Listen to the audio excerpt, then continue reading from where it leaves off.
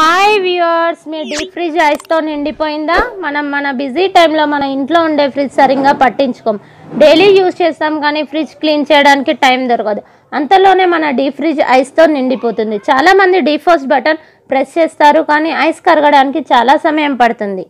కొన్ని గంటలు పడుతుంది ఫ్రెండ్ ఫ్రెండ్స్ ఫ్రిడ్జ్లో ఉండే కూరగాయలు ఇతర థింగ్స్ పాడైపోతాయి.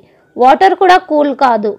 జస్ట్ ఫైవ్ మినిట్స్లో డీ డీప్ ఫ్రిడ్జ్లోని ఐస్ మొత్తం కరగడం ఎలాగో చూపిస్తాను ఫ్రెండ్స్. ముందుగా ఫ్రిడ్జ్ ఆఫ్ చేసుకోవాలి ఫ్రెండ్స్. ఆఫ్ చేసిన తర్వాత ఫ్రిడ్జ్ డోర్ ఓపెన్ చేసి ఫ్రిడ్జ్ ముందు ఒక స్టూల్ పెట్టి దీని మీద టేబుల్ ఫ్యాన్ పెట్టి ఫ్యాన్ ఫ్యాన్ పెట్టండి ఫ్రెండ్స్. ఫ్యాన్ పెట్టి ఆన్ చేయండి. చూడండి ఫ్రెండ్స్ ఎలా ఐస్ కరుగుతుందో. మనం చూస్తున్నాం ఇలాగే టూ మినిట్స్ తర్వాత చూడండి సగానికి ఎక్కువనే ఐస్ కరిగిపోతుంది. చూడండి. మీ దగ్గర టేబుల్ ఫ్యాన్ పెడిస్ట్రిల్ ఫ్యాన్ ఉన్నా టవర్ ఫ్యాన్ ఉన్నా ఈ మూడిట్లో ఏదైనా మనం యూజ్ చేయవచ్చు. ఫ్రెండ్స్ ఇలాగే ఐదు నిమిషాల వరకు ఇలాగే పెట్టండి. చూడండి డీప్ ఫ్రిడ్జ్ క్రింది భాగంలో ఉన్న ఐస్ కూడా మొత్తం కరిగిపోతుంది.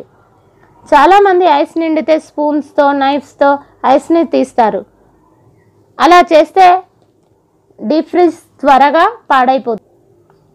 డీప్ ఫ్రిడ్జ్ ఐస్ నిండినా దాన్ని చాలా రోజులు అలాగే వాడుతారు.